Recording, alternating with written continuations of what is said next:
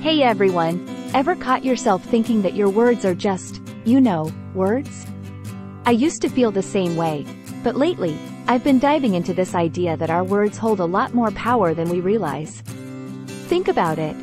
How often do we complain about things, joke about our struggles, or put ourselves down? And then, weirdly enough, those very things seem to keep happening? It's like our words are little seeds, planting themselves in our subconscious minds and growing into our reality. I'm not talking about some woo-woo magic here. This is about how our thoughts and beliefs shape our experiences. Our subconscious mind doesn't judge what's good or bad for us.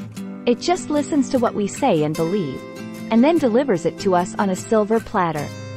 So, if we constantly talk about being broke or unlucky, guess what?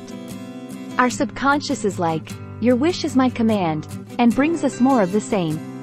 But if we start using affirmations and speaking about ourselves with love and positivity, we can actually reprogram our minds for abundance and joy. It's not always easy to change our thought patterns, especially if we've been stuck in a negative rut for a while. But it's definitely possible. We can start by paying attention to our words and catching ourselves when we're slipping into negativity. We can replace self-deprecating jokes with affirmations, and complaints with gratitude. Even the way we talk to others matters.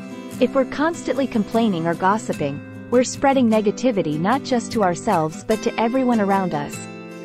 But if we choose our words with care, we can create a more positive and uplifting environment for everyone. Remember, we're not just shaping our own lives with our words. We're also contributing to the collective consciousness.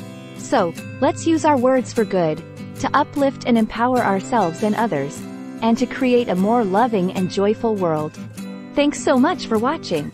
I hope you found this video helpful and enjoyed it.